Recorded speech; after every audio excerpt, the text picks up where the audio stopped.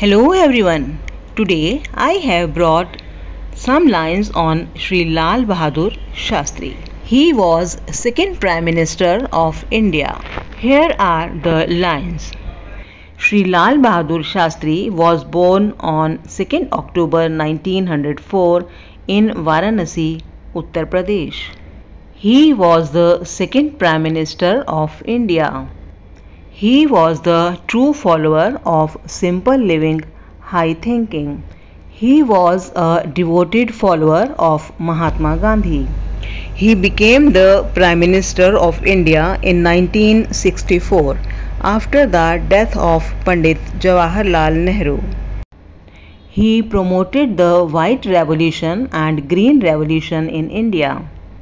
He gave the famous slogan Jai Jawan, Jai Kisan at the time of Indo-Pak War of 1965.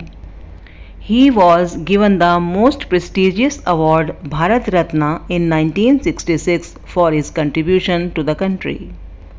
The Mangalore port was also built under his supervision. He passed away in Tashkent, Uzbekistan in 1966. I hope you would have liked the video and if you have liked it, please like the video and, and subscribe the channel. Thank you.